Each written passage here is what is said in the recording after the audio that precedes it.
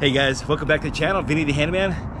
Today, I'm on top of the roof of Denver, Colorado. It's a beautiful view downtown. But anyhow, the reason for this video is because you guys probably want to change out the motor in your swamp cooler. I'm gonna show you how to do that in today's video. Let's get to it.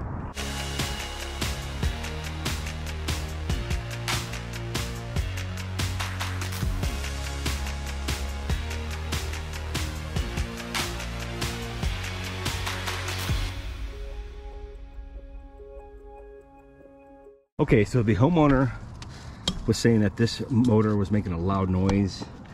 Um, it's probably 10 years old, so we're gonna go ahead and replace this motor anyway. Uh, I picked the one up from Home Depot for about $140, I believe. So these aren't too pricey. Uh, main thing before working on your swamp cooler, make sure your power is turned off. Okay, unplug this motor. Um, I unplugged the pump as well. You just don't want no electricity around this bad boy when you're working. Um, if you feel like you should turn it off at the panel, please do so, uh, especially if you're new at this. Go turn it off down at the panel.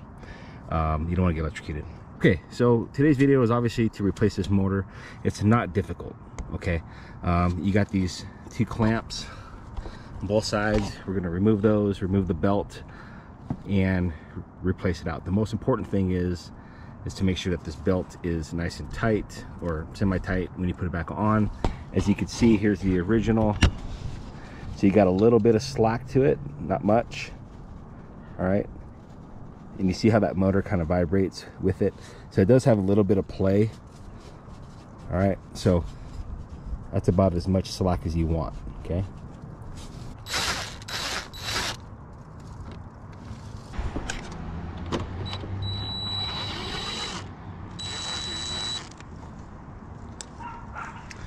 All right, so it's important to hold on to these clips. They will fall off on you.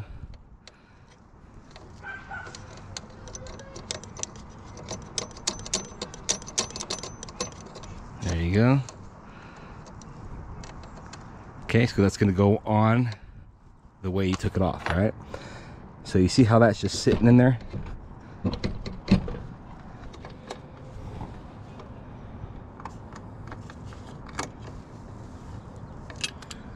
Okay.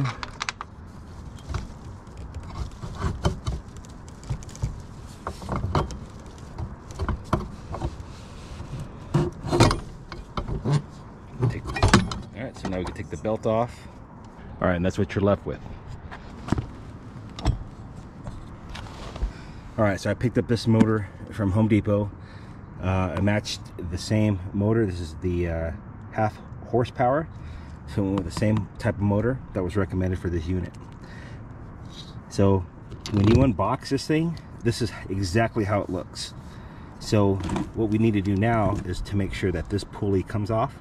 So make sure you get your Allen wrench key and then we're gonna take this pulley and put it on this one.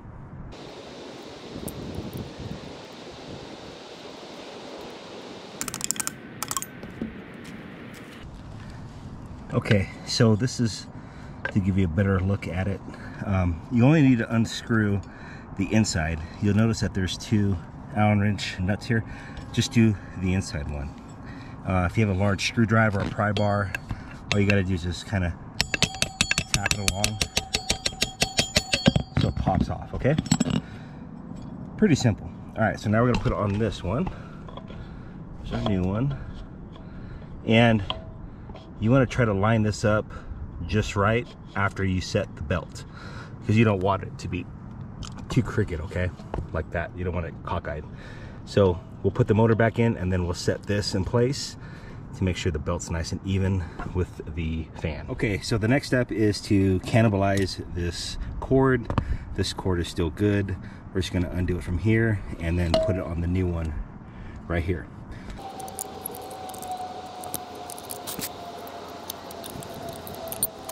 All right, so before you dismantle this, I would take a picture of it just in case you forget or refer back to this video. Uh, and again, the black goes to the hot. White is in the center, that's your neutral. Red goes to the other load side and green to your ground up top, all right? So take a picture of it and duplicate it. Okay, once again, we have our black, which is going to be the hot. You'll see it says H. And that's just going to snap into place. And black goes H. Alright, now we're going to do our ground wire.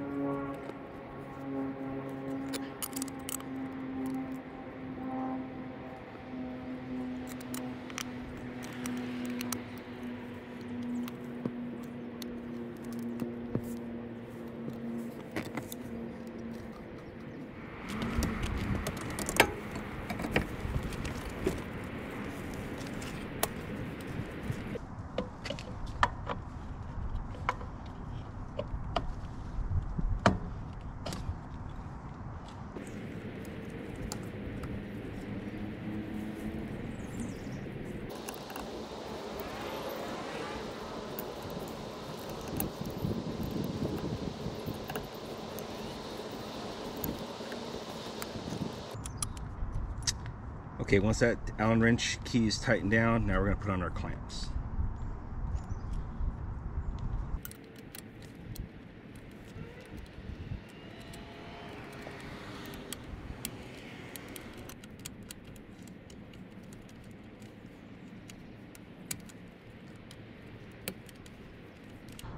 Okay, just make sure these clamps go right back on these uh, little teeth marks.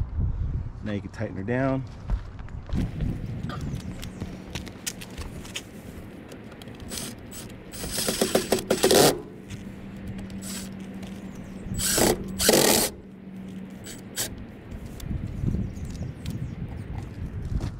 Okay, really quick, just to recap.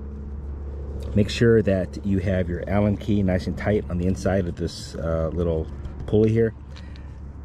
Next, make sure that this is nice and tight, these support clamps, that they grab the teeth. Um, if these are loose, then the belt will fall off and this will kind of start to shake and you don't want that, okay? All right, let's go ahead and test it out and see what we got. This thing back in and test it.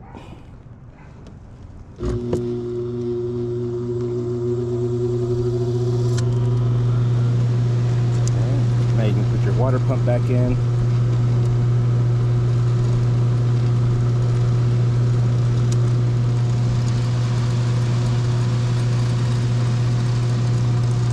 Okay, so everything looks good.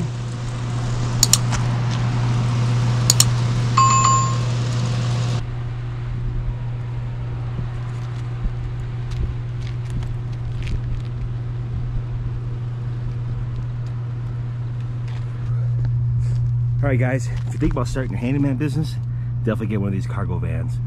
Get rid of the cars, the small trucks, get a cargo van. You can put all your tools in it.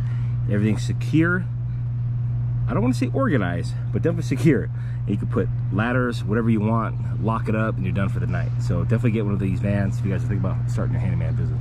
All right, guys, that concludes this video. I hope you were able to learn something from this um, swamp cooler motor installation. All the motors are pretty much the same, and they fit all swamp coolers, so it doesn't matter what you get. Just make sure you get the right horsepower for your unit. Other than that, Vinny the Handyman signing out. Stay confident, guys, and I'll see you on the next video. Take care.